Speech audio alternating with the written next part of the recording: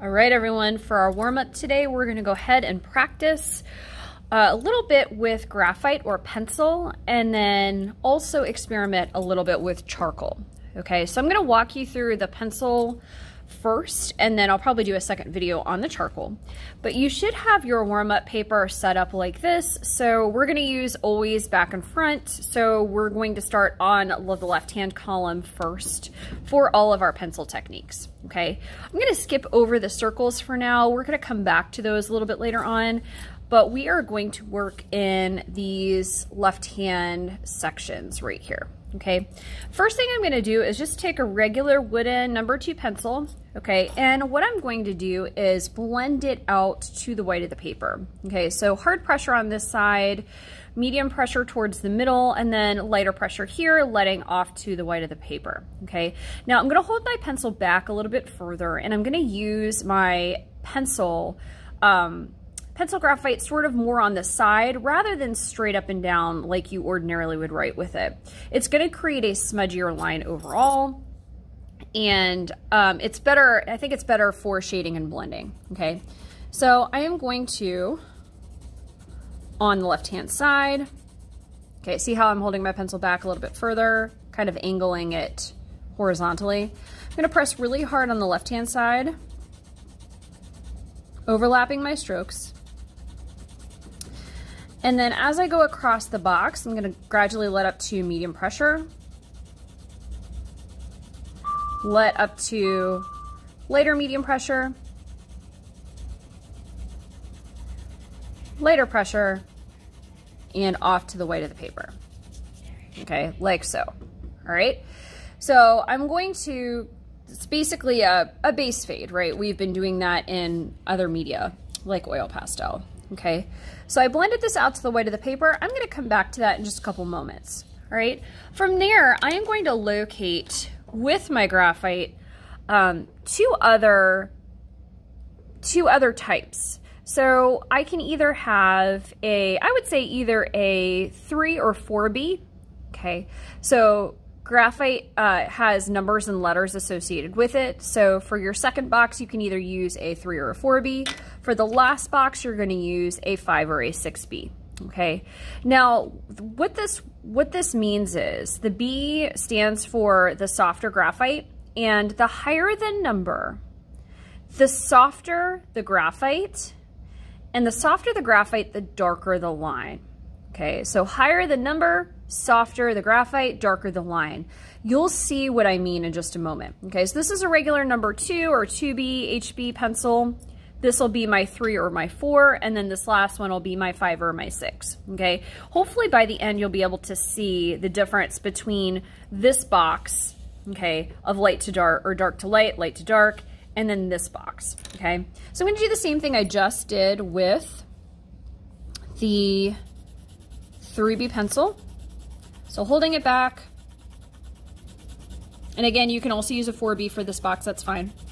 So hard pressure as I go across the box, letting up to medium hard pressure, letting up to medium pressure, letting up to lighter pressure, letting up to lightest pressure, and then off. Okay. So I have something that looks like that. Okay, so this is my 3B pencil. Again, you can use a 4 for that. Okay, now my last box, I'm going to do the same thing. Okay, and this is with either the 5 or the 6B. So I'm pressing hard, holding my pencil at an angle, overlapping my strokes. So hard pressure, hard medium pressure,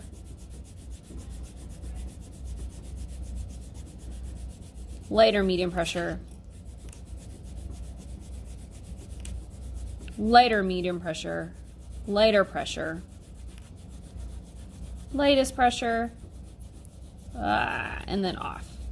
Okay, so I have something that looks like this. So let me zoom you all out. Here we go.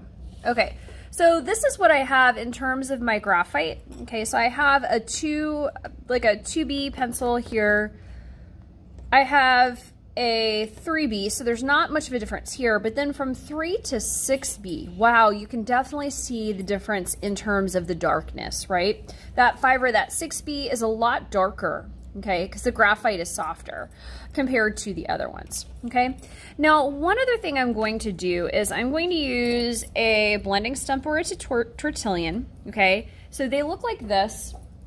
I'm gonna take a moment and just grab a piece of clean off paper like so, and I'm gonna take a moment and again, use it at an angle and I'm gonna clean it off. Okay, so right now somebody before me has used it, so I just wanna make sure that it's not leaving graphite powder completely everywhere when I go to use it. It's never gonna be completely clean, that's okay, but see how these marks are a lot lighter than the marks I made originally. So that's cleaned off. Okay, this is what it looks like.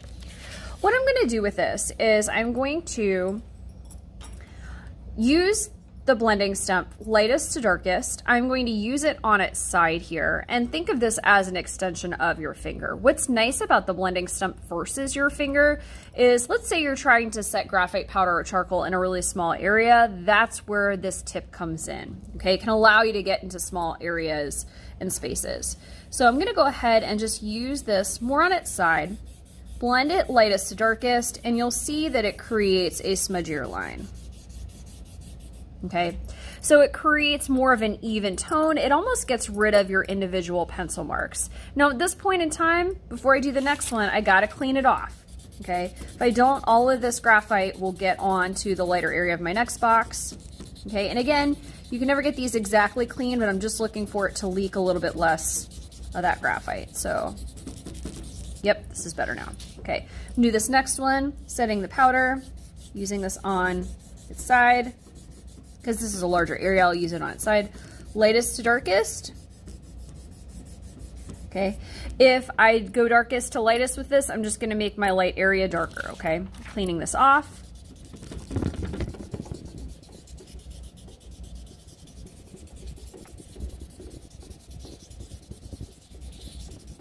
All right, and then last one, okay, I'm gonna do the same thing.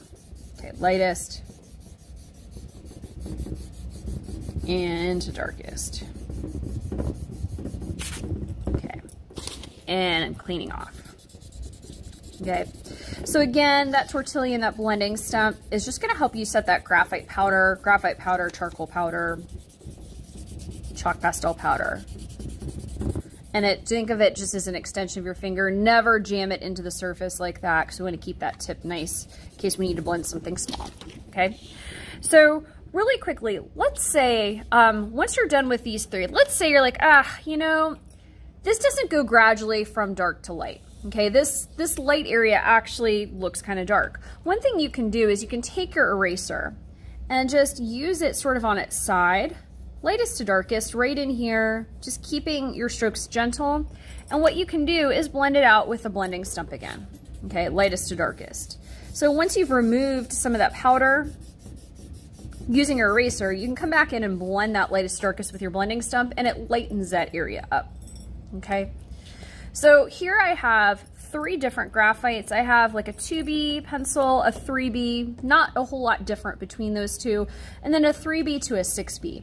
Remember, the higher the number for our B pencils, the darker the graphite because it's very soft, okay? So it's gonna give you a darker, um, darker value for your blend.